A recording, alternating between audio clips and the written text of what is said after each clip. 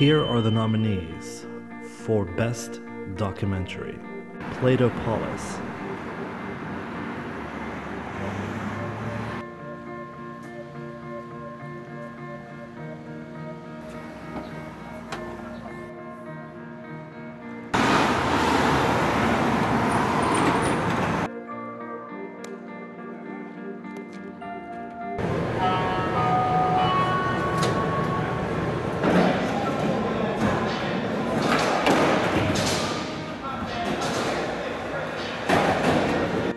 Good Thinking Those Who've Tried to Halt Nuclear Weapons.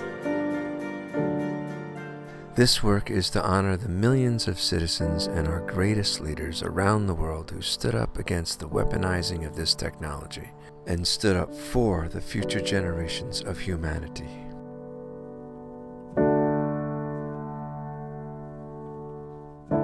In 1950, a peace congress was called in Melbourne, rallying to urgently call for an end to testing and making of Uh, In the play, um, Limestone Players.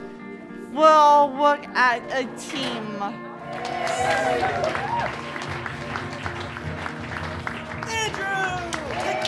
I just want them to walk away feeling I'm special, I'm important, I have a gift to share, and I'm no different from anybody else. Out of Scene.